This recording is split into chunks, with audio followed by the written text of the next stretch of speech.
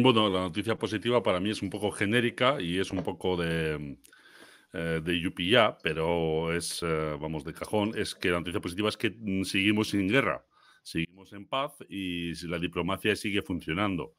Lo cual no significa que las tensiones estén bajando, pero bueno, por lo menos tenemos, em, tenemos ciertos días de relativa calma.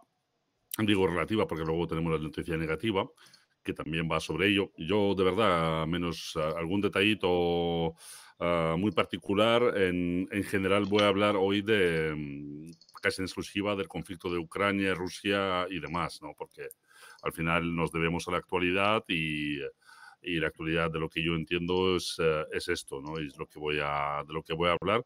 Entonces, bueno, no hay guerra. Uh, los uh, Estados Unidos ha dicho que, que por los medios diplomáticos que le va a contestar uh, por escrito a Rusia, que parece, ¿no? Parece así un poco de, de colegio, ¿no? Por escrito. No, pues esto me lo va a hacer por escrito. Y repetido diez veces. Eh, le va a contestar por escrito al Estados Unidos, a los rusos, sobre las peticiones estas que tenían los rusos. ¿no? Bueno, esto es una noticia que hemos puesto así de un poco de relleno, eh, la de mm, la de portada, no más que nada, pues es un análisis, ¿no? De, realmente si pueden llegar a la, no a la a un acuerdo los rusos y los americanos eh, sobre Ucrania, pero es un acuerdo más, más genérico, más general.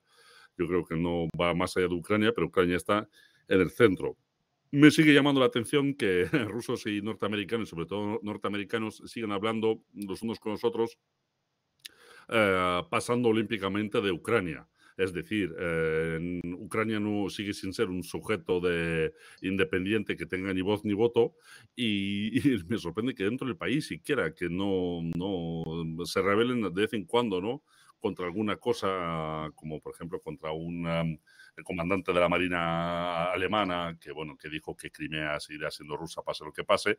La verdad es que el, el hombre dijo varias obviedades que nos sentaron bien y los ucranianos protestaron, pero no protestan contra su, su amo a día de hoy, pues que es que es, uh, es la única manera que la podemos llamar, uh, que son los Estados Unidos uh, y que son los que deciden.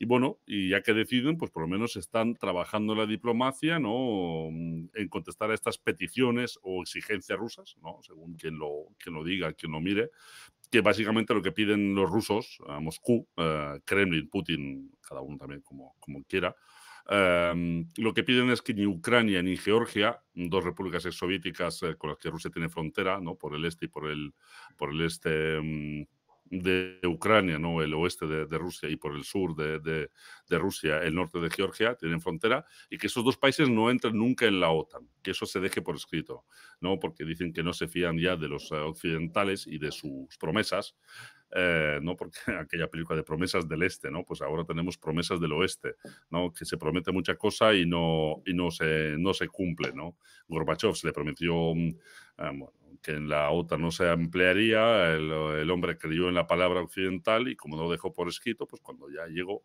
pues no, la cosa, nosotros no lo hemos eh, firmado, así que nada, y las cosas que se firmen, Estados Unidos, por ejemplo, también se puede salir.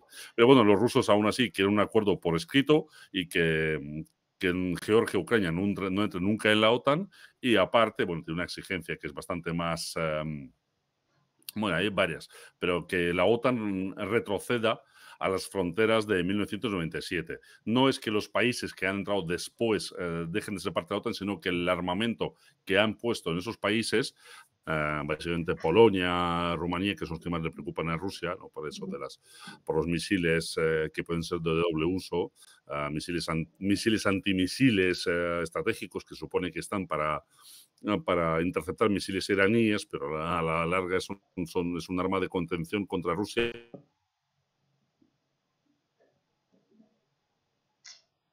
Hemos perdido a Pablo por el camino.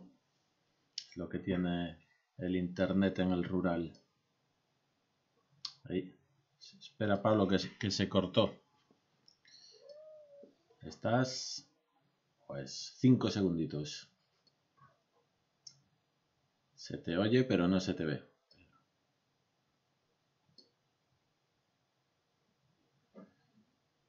Bueno, te oímos suficiente.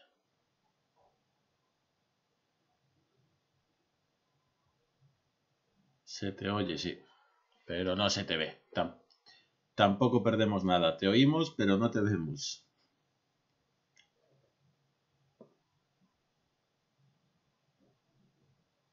Vale.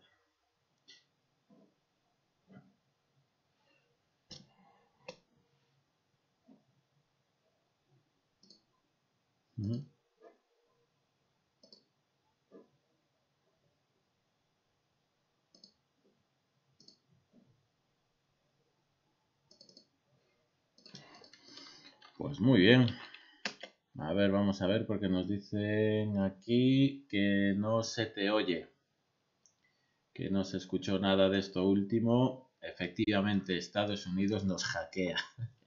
No quieren que se escuche, Pablo. No